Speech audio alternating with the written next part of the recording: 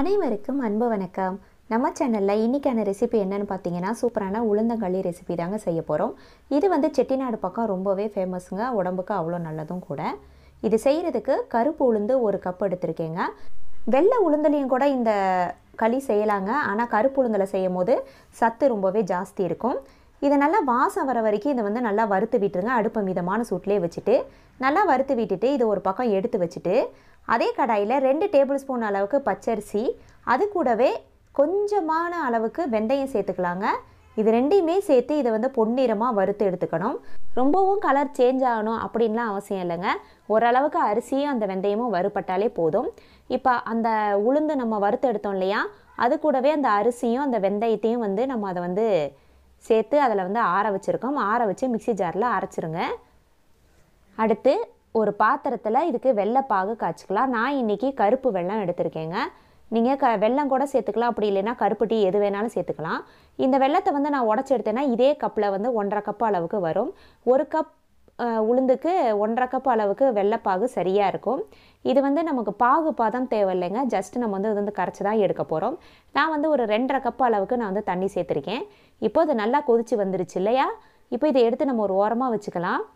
அடுத்து ஒரு கடாயில் மூணு கப்பு அளவுக்கு நான் தண்ணி சேர்த்துருக்கேங்க. டோட்டலாக இன்றைக்கி நான் இந்த களிக்கு ஒரு கப்பு உளுந்துக்கு அஞ்சரை கப்பு அளவுக்கு நான் தண்ணி சேர்த்துருக்கேன். தண்ணியோட அளவு பொறுத்த வரைக்கும் எவ்வளோ வேணாலும் சேர்த்துக்கலாங்க. ஆனால் கம்மியாக போயிடாமல் பார்த்துக்கோங்க அப்புறம் நமக்கு வந்து மாவு வந்து வேகாது.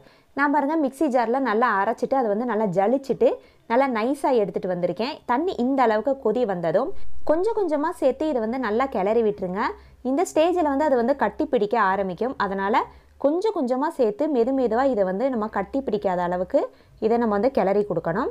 இப்போ எல்லாமே சேர்த்துட்டேன் பாருங்கள் இது எல்லாமே கிளறி கொடுக்க கொடுக்க இது வந்து சீக்கிரமாக நமக்கு கெட்டி பதம் வர ஆரம்பிச்சிடும் அடுத்து இதை ஒரு தடவை ரொம்ப நேரம் வேணாங்க. ஒரு குறைஞ்சது ஒரு ஒரு நிமிஷம் மட்டும் அடுப்பை மீதமான சூட்லேயே வச்சுட்டு இதை வந்து நல்லா கிளறி கொடுத்துருங்க. கிளறி கொடுத்துட்டு இப்போ இதில் வந்து நம்ம வெள்ளை பாகை வந்து நம்ம வடிச்சிட்டு சேர்த்துக்கலாங்க. இந்த மெத்தட் வந்து செய்கிறது வந்து ரொம்பவே ஈஸி தான். ஒருவேளை உங்களுக்கு கஷ்டமாக இருந்ததுன்னா நீங்கள் வந்து வெள்ளை பாகுலே கூட இந்த மாவை வந்து அப்படியே டைரெக்டாக அதிலே சேர்த்து கூட நீங்கள் வந்து கிளறிக்கலாம். இப்போ இதில் சேர்க்கும் போது வந்து ஒரு சின்ன சின்ன கட்டிகள் வரத்தாங்க செய்யும். ஆனால் இந்த மெத்தட் வந்து கொஞ்சம் டேஸ்ட் வந்து ரொம்பவே நல்லா இருக்கும். ஏன்னா வந்து அந்த தண்ணியிலே வந்து மாவு வந்து நல்லா சீக்கிரமாகவே நமக்கு டக்குன்னு வெந்துடும் வெள்ளைப்பாகில் நம்ம டைரெக்டாக நம்ம மாவை சேர்க்கும் போது வேகிறதுக்கு கொஞ்சம் டைம் எடுத்துக்கணுங்க. அதனால் நான் வந்து தண்ணியில் ஃபஸ்ட்டு வேக வச்சுட்டு அதுக்கப்புறம் வந்து நான் வெள்ளைப்பாக நான் சேர்த்துருக்கேன். இப்படி சேர்க்கும் போது அந்த ஒரு சில சின்ன கட்டி வர மாதிரி இருக்கும். ஆனால் அது கொதி வர வர நம்ம கிளறி கொடுக்க கொடுக்க அந்த கட்டிகள் எல்லாமே வந்து கரைஞ்சி நமக்கு கரெக்டான பக்குவம் வந்துடும் கொஞ்ச நேரத்தில் ஒரு அஞ்சு நிமிஷத்துலேயே வந்து பார்த்தீங்கன்னா கை விடாமல் அடுப்பை மிதமான சூட்லேயே வச்சுட்டு நம்ம கிளறி கொடுத்துட்டே இருக்க இருக்க ஓரளவுக்கு கெட்டி பதம் வந்துட்டே இருக்கும். கெட்டி பதம் வந்துட்டு இருக்கிற ஸ்டேஜில் நெய் சேர்த்துக்கலாங்க. நெய் அப்படி இல்லைன்னா நம்ம நல்லெண்ணெய் கூட சேர்த்துக்கலாம். ரெண்டுமே வந்து உடம்புக்கு ரொம்பவே நல்லதுங்க. நான் வந்து மூணு டேபிள் ஸ்பூன் அளவுக்கு தான் நான் வந்து நெய் சேர்த்துருக்கேன்.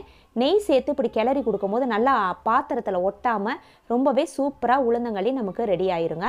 இந்த சத்தான உளுந்தங்களி வந்து பார்த்திங்கன்னா வயசுக்கு வந்த பெண்களுக்கு ரொம்பவே செஞ்சு கொடுப்பாங்க. அந்த இடுப்பில் அந்த பலம் வந்து நல்லா கிடைக்கும். குழந்தை பெக்கிற நேரத்துலலாம் வந்து பலம் வந்து நமக்கு நல்லா கிடைக்கும் அப்படின்னு செஞ்சு கொடுப்பாங்க. நீங்களும் இதை வந்து வீட்டில் கண்டிப்பாக ட்ரை பண்ணி பாருங்கள்